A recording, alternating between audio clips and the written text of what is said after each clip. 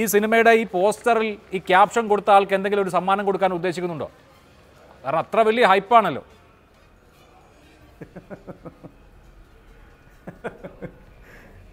C ഒരു ഒരു സിനിമയെ ആൾക്കാരിലേക്ക് ഏറ്റവും ആദ്യം എത്തിക്കുന്നത് അതിന്റെ ഒരു ടൈറ്റിലാണ്.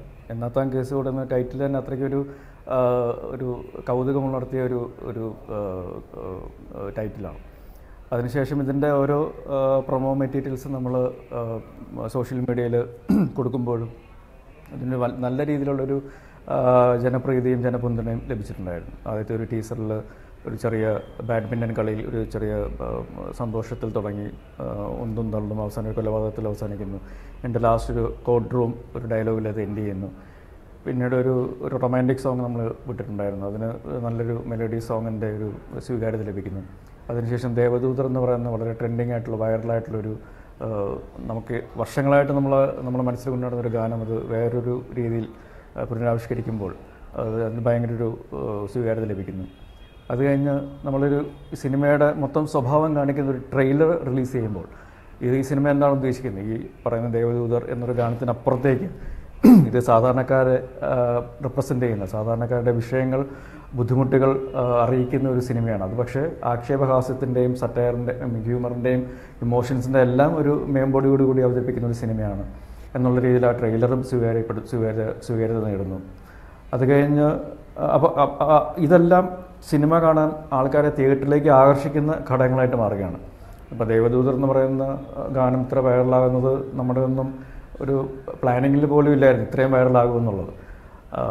ഓഫ് കോഴ്സ് മാർക്കറ്റിങ്ങും പ്രൊമോസൊക്കെ ചെയ്യുമ്പോൾ അത് ആൾക്കാരിലേക്ക് ഇത് എത്തിക്കുക എന്നുള്ളൊരു ഒരു ഒരു ഒരു ആഗ്രഹത്തോടെയാണ് നമ്മൾ ചെയ്യുന്നത്. അത് എപ്പോഴും അത് സംഭവ നല്ല രീതിയിൽ സംഭവിക്കണമെന്നില്ല. പക്ഷേ ഇത് നമ്മൾ ഉദ്ദേശിക്കുന്നതിനേക്കാൾ രീതി വലിയ രീതിയിൽ സംഭവിക്കുന്നു.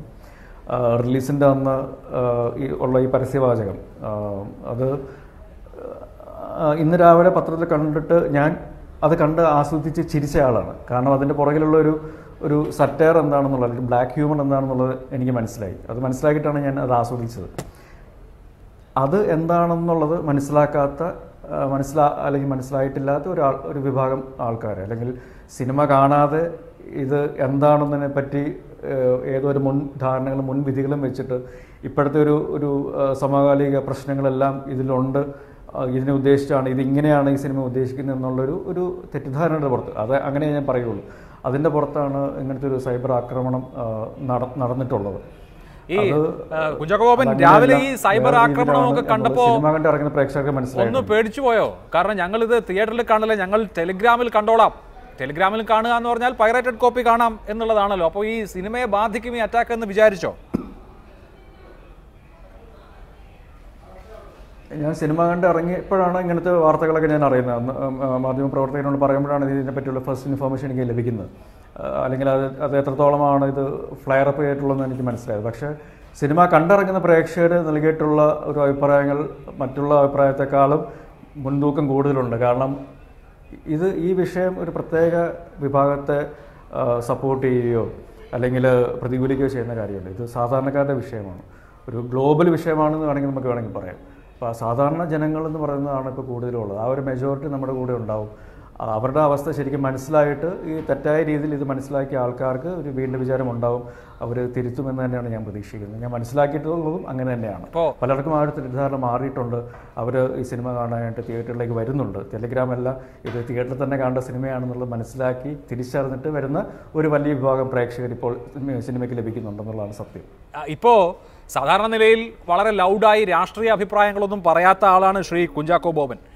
ഇവിടെ ഇപ്പോൾ ഈ നമ്മുടെ റോഡുകളിലെല്ലാം കുഴിയാണെന്നുള്ളതൊരു വസ്തുതയാണ്. അതൊരു പൊതുപ്രശ്നമാണ്. എല്ലാ ജനങ്ങളും അനുഭവിക്കുന്ന പ്രശ്നമാണ്. അപ്പോൾ അങ്ങനെ ഒരു പ്രശ്നം വിമർശനാത്മകമായി ഈ സിനിമയിലോ സിനിമയുടെ പോസ്റ്ററിലോ വന്നാൽ എന്താണ് കുഴപ്പം എന്നൊരു ചോദ്യവുമുണ്ടല്ലോ. അങ്ങനെ രാജ്യത്ത് നടക്കുന്ന ഒരു കാര്യവും വിമർശിക്കപ്പെടാൻ പാടില്ലാത്തതായി ഇല്ലല്ലോ.